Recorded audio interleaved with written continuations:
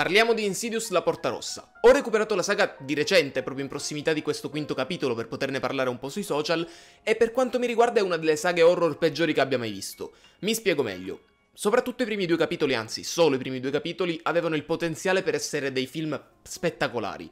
Avevano delle idee perfette per quanto mi riguarda, il concetto di al di là, di altrove, proprio il look, lo stile di demoni, compreso il fratello stupido di Darth Maul. C'erano delle idee veramente molto molto carine, solo che sono state, sfruttate molto male in alcuni casi in altri casi sono state sfruttate molto bene, però la cosa che rovina di più questi film, in generale anche quattro, il terzo e il quarto capitolo, che sono dei prequel sul personaggio di Elisa, uh, di Elise, vengono tutti rovinati, soprattutto questi ultimi due film, dai jumpscare. Continui jumpscare alle volte anche prevedibili, quindi non, non, riescono a sfruttare nemmeno il loro compito. E per quanto mi riguarda i jumpscare all'interno dei film horror sono un problema, quando sono inseriti soprattutto così male, perché non riescono a spaventarmi davvero. Sì, posso saltare appunto, posso saltare spaventarmi jumpscare, però non, non, mi spavento realmente, io vorrei spaventarmi con un horror, inquietarmi più che spaventarmi con un horror attraverso l'ambientazione, anche la costruzione di alcune inquadrature eh, spaventose, ma non un demone che ti arriva davanti allo schermo e fa buh,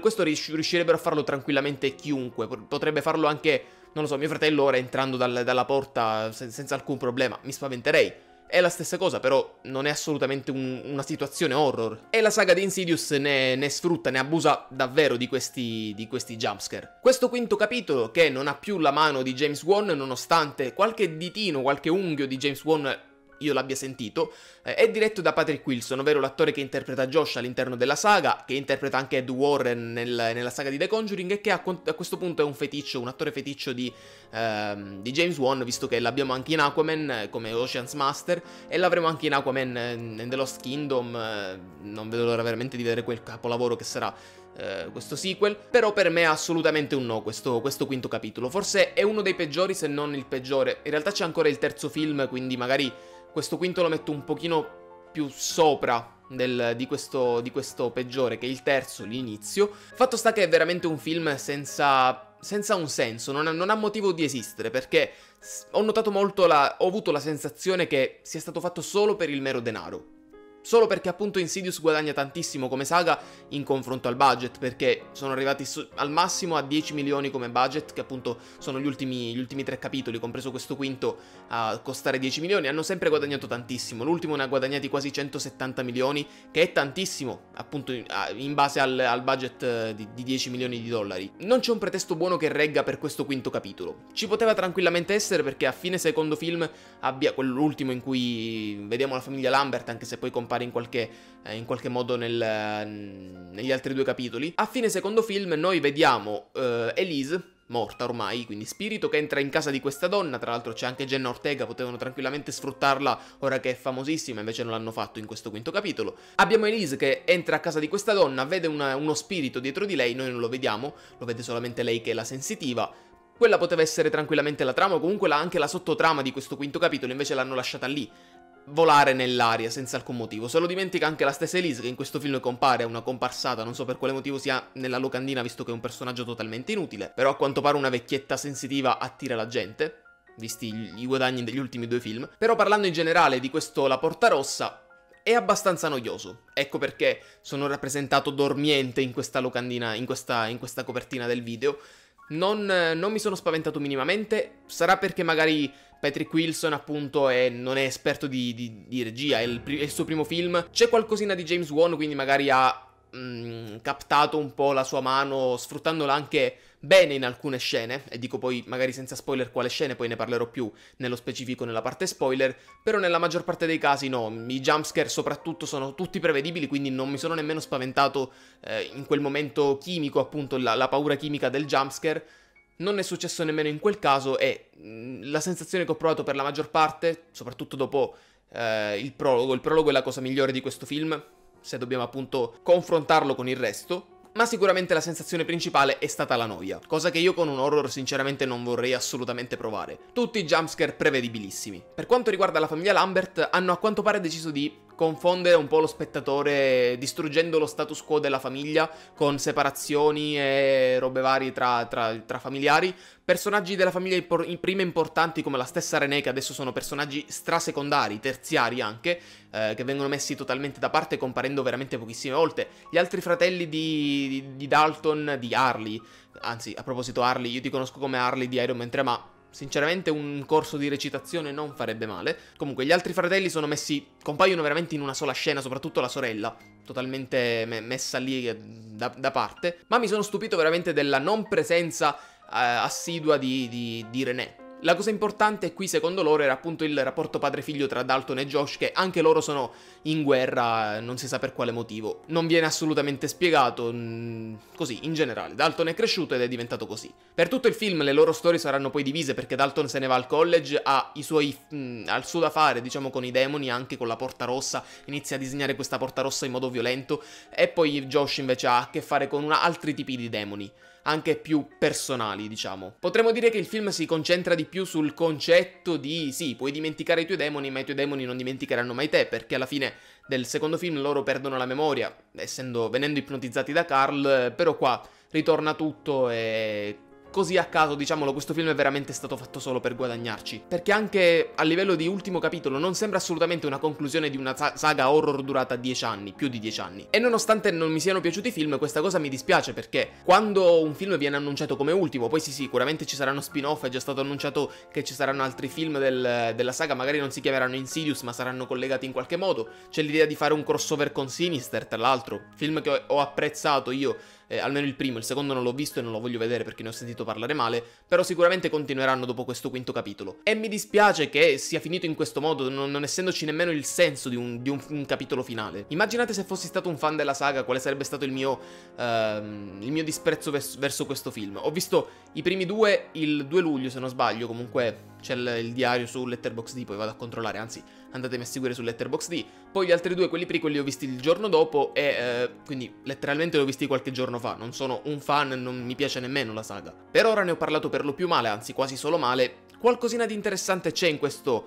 eh, in questo quinto capitolo, qualche scena un po' alla one eh, che, che, che, che ho apprezzato. Dico solo scena della macchina o scena della finestra, anche prima parte della scena del, mm, del, dell'attack sia quella della finestra che quella dell'attack sono nel trailer, quindi non, ho, mm, non, è un grandissimo spoiler. Queste scene sono anche interessanti. Il modo per spaventarmi a questo punto penso eh, sia, sia chiaro è presentare delle scene, delle inquadrature abbastanza larghe, diciamo, soprattutto Uh, quella, del, quella, dell'auto, in cui è presente un modo per far spaventare lo spettatore, ma anche e soprattutto il, uh, il, protagonista. Cosa che effettivamente in quella della macchina non succede, ma per altri motivi. Però quella scena mi è piaciuta. Non ho apprezzato veramente il, la scelta di distruggere così lo status quo della famiglia, mm, della famiglia Lambert solo per poter portare questo quinto capitolo in modo terribile.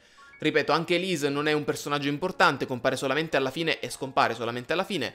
Anche i due Ghostbusters eh, del, della saga totalmente lasciati a caso dopo essere stati così importanti sia nei primi due film ma soprattutto negli orribili prequel e il finale veramente non ha quel senso di, di, di chiusura, lo ripeto. Mm, sembra semplicemente un film di passaggio, sembra che ce ne debbano essere altri 10 di Insidious, cosa che almeno Insidious non, non, non continuerà. Poi magari fanno un film con, intitolato Josh and Dalton, eh, sarà un film comico, perché a questo punto questo non, non è un film horror questo qui.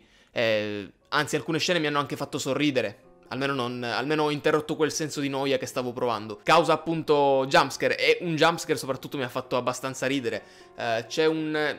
Parlandone un po' senza spoiler, c'è una luce che si spegne, si accende, si spegne, si accende, si spegne, si accende. E tu sai che palesemente ad un certo punto succederà qualcosa a quella sagoma di quel personaggio. E io sono stato così letteralmente ad aspettare. Ok, dai, spegni, accendi, spegni, accendi. 3, 2, 1, boom.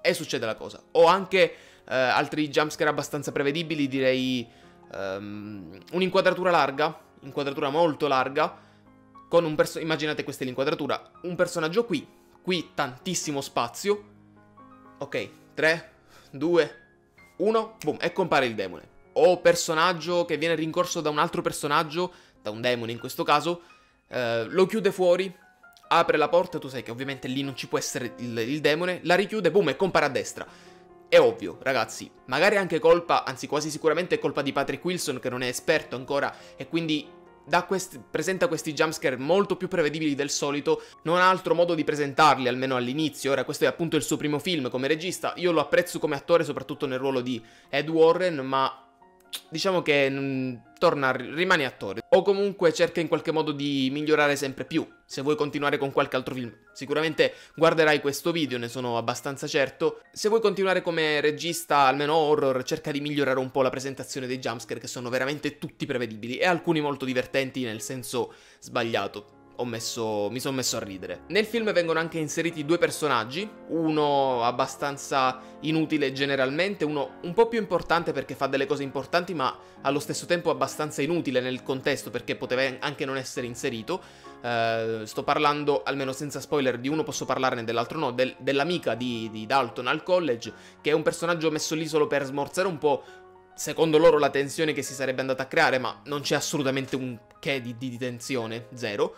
Mentre un altro personaggio un... riguarda Josh ed è...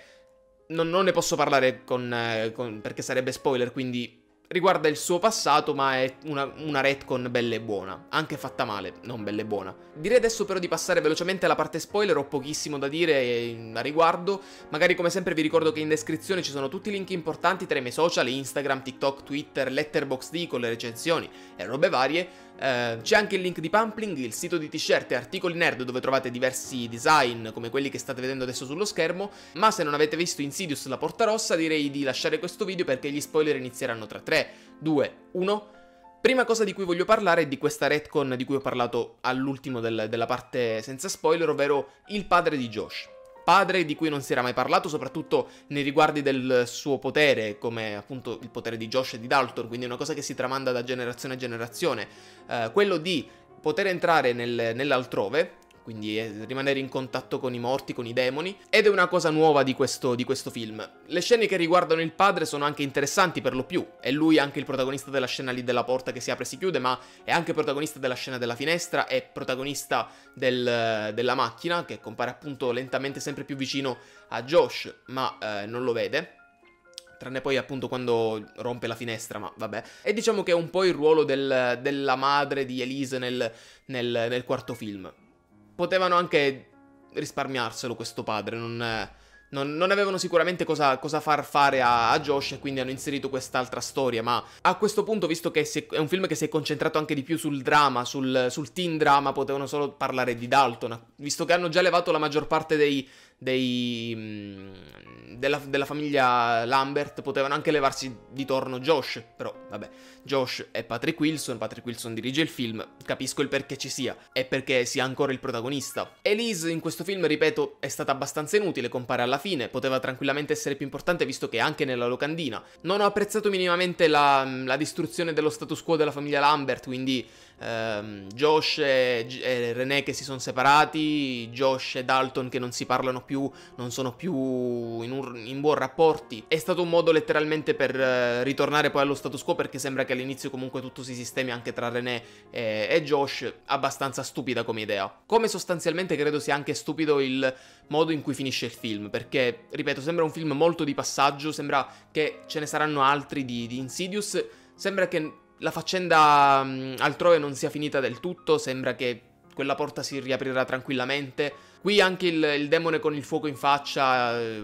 Darth Maul, eh, è stato trattato di merda totalmente, non, eh, è anche cambiato, sembra molto meno spaventoso, sembra più pupazzoso. E per quanto mi riguarda la scena in cui si scopre che eh, la, il dipinto della Porta Rossa, questa analogia del, del dipinto con la reale Porta Rossa, il dipinto fatto da, da, Dalton a scuola. La scena in cui si scopre che lui, dopo aver dipinto tutto in nero e quindi aver chiuso questa Porta Rossa, abbia de deciso di disegnare la scena eh, del primo film in cui Josh porta in braccio suo, suo figlio, appunto, Dalton, è una scena molto smielosa. E non, non, lo so, non, non, ci sta molto con tutto il resto del film. Forse potevano anche trattarla un po' meglio. Sì, è il modo per farci capire, ok, sono, sono di nuovo in pace, non, non c'è più quell'astio che non si sa assolutamente come sia venuto, visto che non ne parleranno, non ne hanno mai parlato e non ne parleranno più, visto che la saga è finita, ma vabbè, dopo aver visto comunque i quattro film in binge watching per lo più, eh, non, è, non, è, che mi aspettassi così tanto da questo quinto capitolo. Sicuramente mi aspettavo magari di avere una conclusione, invece non sembra esserci stata.